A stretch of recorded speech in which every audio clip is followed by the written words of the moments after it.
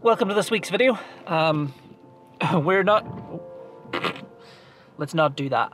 Um, we're not doing anything in particular this week. I have no real video planned, so this is going to be just a general vlog of what I'm up to.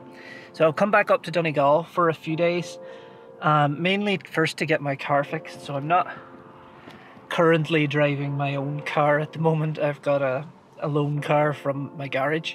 So today what we're going to do is we're going to go back and get my car now. I've been in Moville. We've stopped at this awesome spot. Even when it's a casual vlog of mine or stuff, uh, we're gonna take some photos, you know? That's what I do most of the days that I'm off. So we've already been out and I've had the drone up over Moville. so enjoy some of these shots.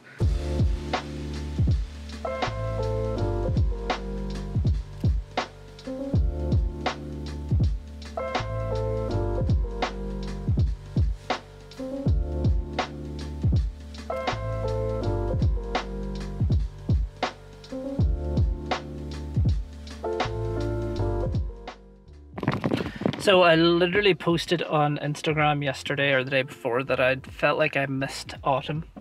And as I was driving back from collecting this old thing, um, I realised I was like, oh, I can just go down and check out the woods in Buncrana. So I thought, let's call in, let's go take a little walk through the woods. Uh,